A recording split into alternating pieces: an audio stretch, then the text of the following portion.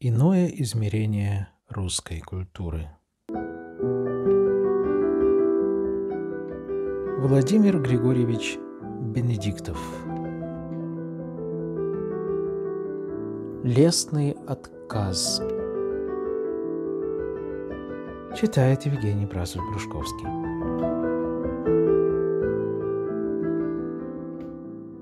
Пока я разумом страстей не ограничил, Несчастную любовь изведал я не раз. Но кто ж, красавица, из вас Меня, отвергнув, возвеличил? Она единая. Я душу ей открыл. Любовь мечтателя для ней была не новость, Но как ее отказ поэту сладок был какую лестную суровость мне милый лик изобразил. Сносней один удар, чем долгое томление. Она сказала мне, оставь меня, уйди. Я не хочу напрасно длить волнение в твоей пылающей груди.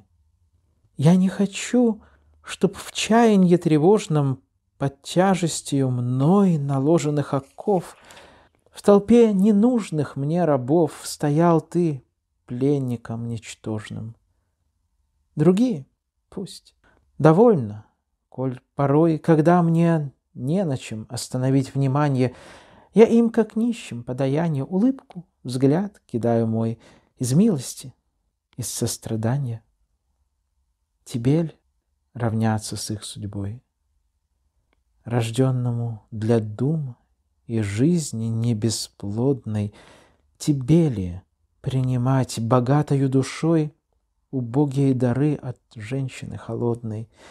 Я не хочу обманом искушать поэта жар и стих покорной, и полунежностью притворной тебя коварно вдохновлять, внушать страдальцу песнопенье и звуком, вырванным из сердца глубины, рассеянно внимать с улыбкой одобрения и спрашивать, кому они посвящены. Заветных для меня ты струн не потревожишь. Нет, для меня к чему таить? Необходим ты быть не можешь, а лишний ты не должен быть. И я внимал словам ласкательно суровым, Ловила их душа плененная моя. Я им внимал, и с каждым словом И крепнул, думаю, и мужественнил я. И после видел я прозревшими очами, Как головы других покорности в залог — у ног красавицы, простертыми кудрями, сметали пыль с прелестных ног.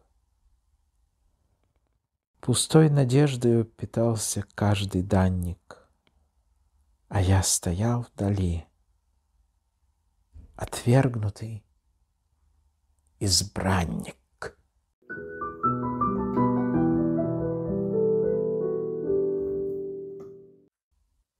Читано по изданию сочинение Владимира Григорьевича Бенедиктова под редакцию Якова Петровича Полонского. Второе посмертное издание. Том 1. Санкт-Петербург, Москва. Издание поставщиков Его Императорского Величества Товарищества Вольф. 1902 год.